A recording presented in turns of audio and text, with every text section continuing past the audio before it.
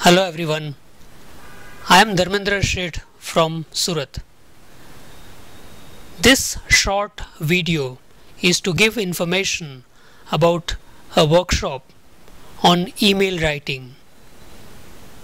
Email etiquette in English. This is a two day workshop and now I am going to give you some information about the contents of that workshop. Why is it important to pay attention to our emails?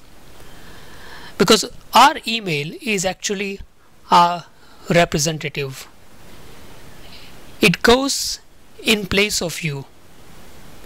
So it's very important to make your email as effective as possible.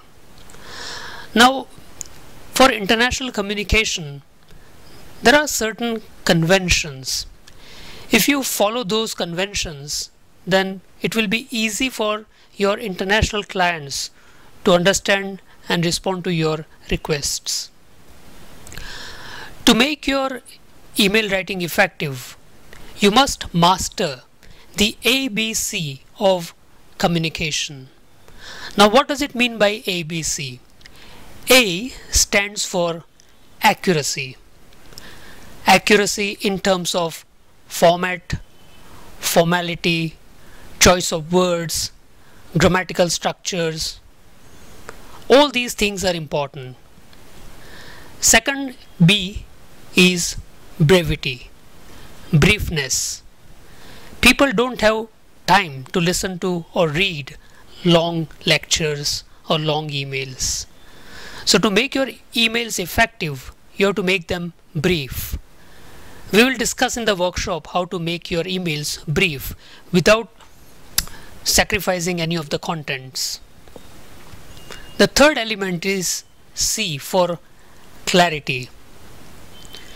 If you make your email very brief, you understand it, but maybe people don't understand if it is not clear.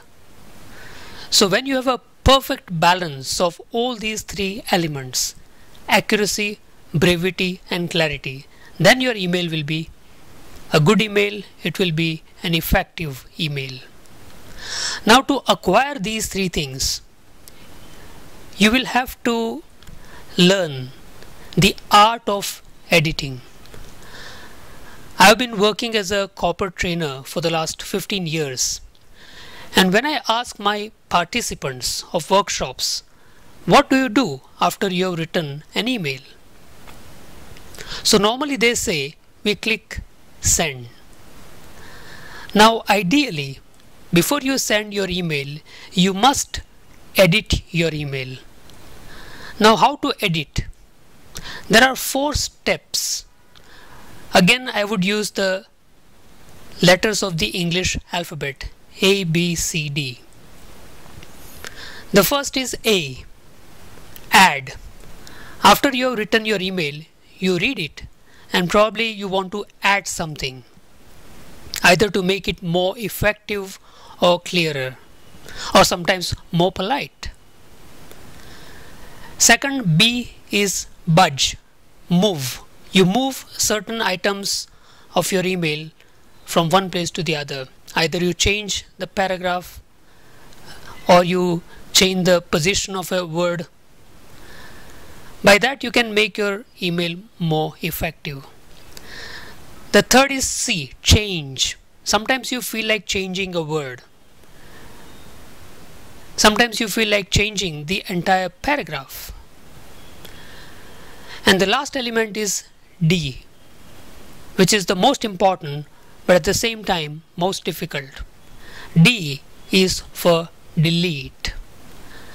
Now many experts they say that if you have written say for example 10 line email and then you start editing and at the end of editing your email should have between 3 and 5 lines.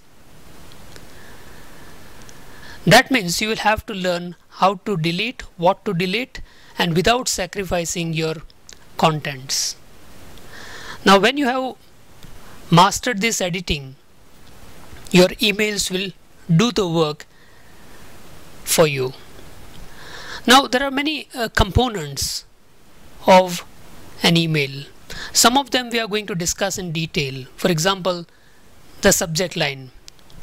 Now people don't have time to read the whole thing or sometimes if your email goes to a top official then that person will look at the subject line and probably forward it to the person concerned. So your subject line is very important and it is like greeting. When you meet somebody, you greet, you shake hands, you say good morning, hello. So you establish a rapport with that person. The same thing can be done via your subject line. Another important element is the beginning of your email. How you greet that person, what you write in the first paragraph, that plays a vital role in email writing. And equally important is your closing, how you end your email. So some such elements we are going to discuss in this workshop. From the language point of view, two other elements that we plan to discuss are cohesion and coherence.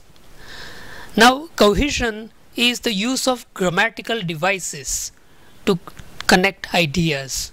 Some people write emails as if they are scattered thoughts.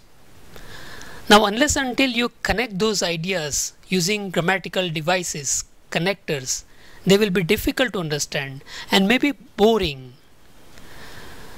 So cohesion is very important and another aspect is coherence. Means after you used all the cohesive devices, you connected all the ideas, then you written about 3, 4, 5 paragraphs in your email and finally, how does it look as a whole?